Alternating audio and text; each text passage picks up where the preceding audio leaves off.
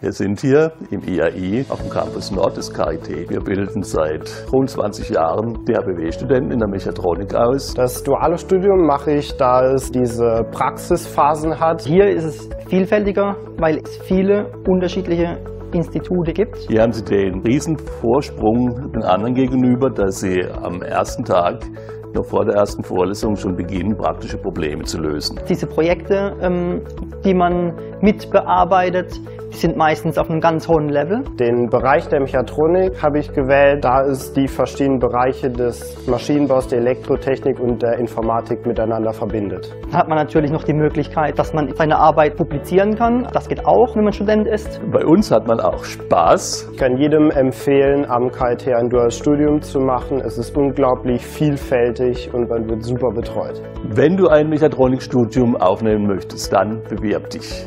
Egal wie.